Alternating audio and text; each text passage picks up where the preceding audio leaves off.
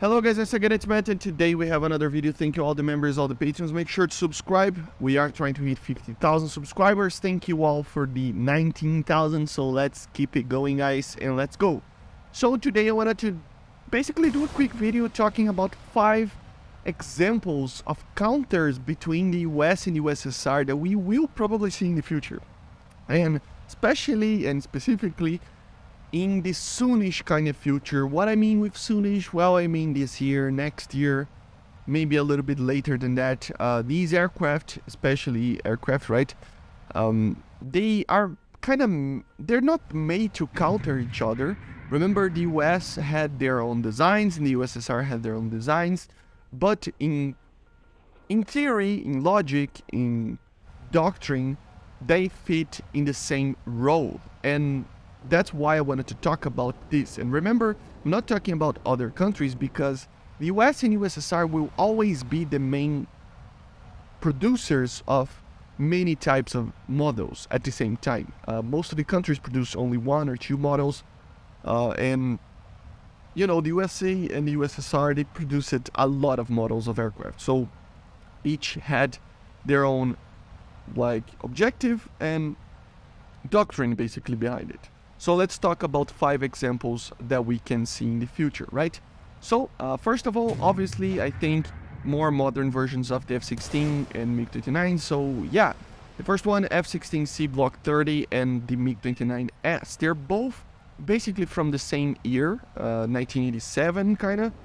Um, they both turn better than the original models. They have a better radar than the original models and F-16 in particular have a little bit of more engine in the afterburner. So yeah, specifically on the radar and turning capabilities, they are just both better than the original F-16As and the MiG-29, uh, like quote-unquote A's, right? It's not really called A's, but the MiG-29s. So uh, it would be making sense to see that in the future they both can use AMRAAMs and the R-77 as well, which could be a factor of them being added. Um, so yeah, it's I mean the MiG-29S we have two models, the 912S and the 913S. Uh, most of them were uh, upgraded from the 912s, but the 913 also had some models, so we can see both of them being added, right? So yeah, very very cool. Uh, two counters to each other that we can see. The second one is, I think it's an obvious one, the F-15C, uh, maybe an MSIP version or something like that versus the Su-27S. I would say early's variant, nothing too crazy. Uh, in the future, they could receive the AMRAAMs and the R-77s as well. Uh, there are upgrades to the radar of the Su-27S that could um, make it carry the, the R-77. Uh, it is hard to find information on how many of the Su-27Ss actually got that upgrade, but it can be done. Uh, so even in the future update, it can be In the turning capabilities, they're very similar. Uh, in the performance of it, and acceleration, thrust to weight, everything like that, the radar, they're all very, very similar and very counter to each other. Remember, these two, they are the heavy hitters, the heavy fighters of the 80s. So uh, they are a little bit more capable than the F-16s and the MiG-29s, right? In the sense of they are made for long-range engagements, they are made for long-range uh, flight, right? Uh, escorts, high altitude interceptions, while the F-16 and the MiG-29, specifically the MiG-29, were more of a short range interception, the F-16 being a more of a, a light fighter multi-role inter uh, kind of situation, right? So very different in doctrine these two aircraft, and we might have to wait a little bit to see them, but they need to be added together. Um, the third example that I wanted to talk about is navalized versions of a MiG-29, so the MiG-29K, specifically the 1989 version versus the F-18C. Uh, they're both basically from the same era as well, late 80s, right, or the 90s, air aircraft like that. Remember the MiG-29 from that era never actually saw full production service, only when it got uh, upgraded in the, the 2000s or something, right? And then we have the modern MiG-29K. But back in the day, it was just a MiG-29M uh, upgraded to be able to land in the SNS Tbilisi, which was renamed Kuznetsov later. Uh, and the F-18C, I mean, we already know the aircraft. And I think they are very, very similar in purpose, the same way as the other war. So they are multi-role aircraft, navalized versions, light fighters, very mo modern and more modern than the other aircraft that I'm going to talk about in the sense of the F-14 and the Su-27K. Um, so they're just very, very good. They even have uh, air-to-ground radars, which are very, very modern stuff. Uh, both of them have that. So yeah, um, the MiG-29K having 8 pylons, the F-18C can carry, uh, I think it is technically 8 missiles, uh, or no, it's I think it's 6 missiles, right? I, I can not remember if the C could actually take 2 more missiles, but A could only take 6. But still, even with that, I mean, if we get a more modern version of the Sparrow, could be a thing and it could be very, very interesting. And of course, these two can later use the R77 and AIM-120 as well. The fourth example, very good one, F-14B versus the Su-27K, or rather the Su-33, right? Uh, they both basically have the same purpose in the carrier. Uh, they are basically fleet defense, long-range fleet defense to destroy bombers, to destroy large, uh, you know, fleets of aircraft interceptions and anything like that. And also they can do some sort of air to ground as well.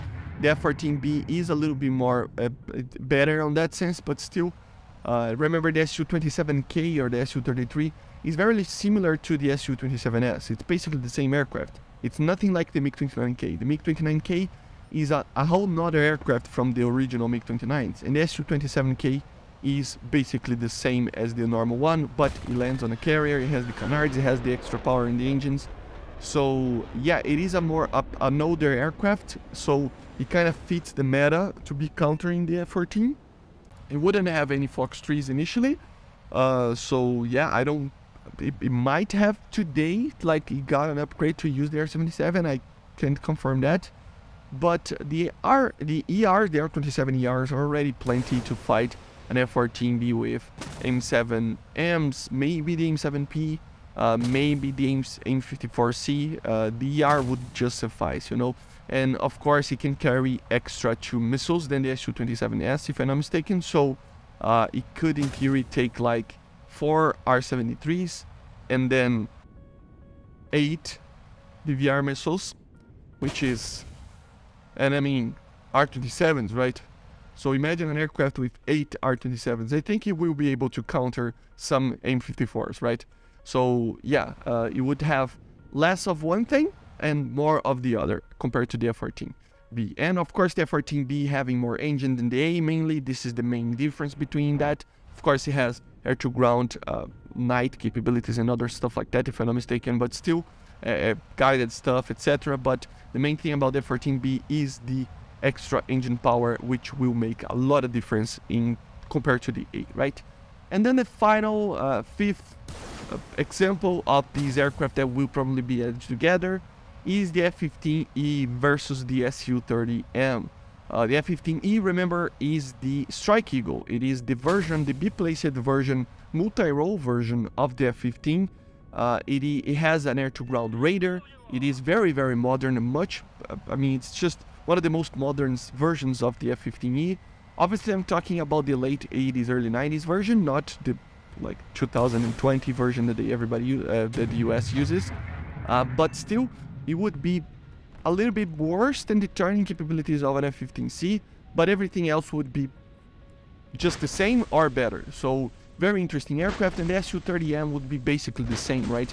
It is an aircraft that it is made to be multi-role, as well as an interceptor. It's basically to do everything. It would be a little bit heavier than the Su-27, so it would turn a little bit less, but the principle is the same. It would do everything else uh, like well, right? It is an aircraft that I...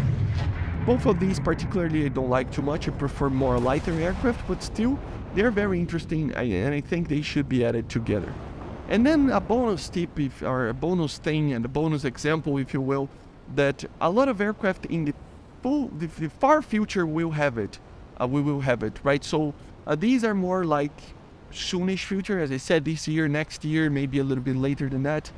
Uh, but in the soonish kind of uh, farther further away than the soonish future, so like from two years more than now, you know, or something like that, we can see an F-18A Super Hornet against a modern MiG-29K, a modernized Su-33 maybe, or even a MiG-31 to be the counter of the F-14D, a MiG-1.44, or even a Su-57 to be the counter F-22, of course. Always the Russians and the, or the Soviets will have counters in doctrine for the US. Remember, I'm talking about objective. I'm talking about aircraft that are just made to have the same objective. Not that they are made to be the counter to each other. The F-14 wasn't made to be the counter of Su-27K, obviously, but uh, the objective is to uh, have the same objective and to be the counter in the game, right? But anyway, these are five examples of aircraft that we will see between the US and USSR that can be counter to, to each other in the fighter department especially. Uh, but let me know in the comments what else you think can come. Of course, the Su-24 with the F-111. We have other options, of course, more A-10C against the Su-25TM or something like that. We have other options as well, so leave it in the comments what you think about it. Make sure to subscribe, and I see you guys on the next one. Bye, guys. See ya.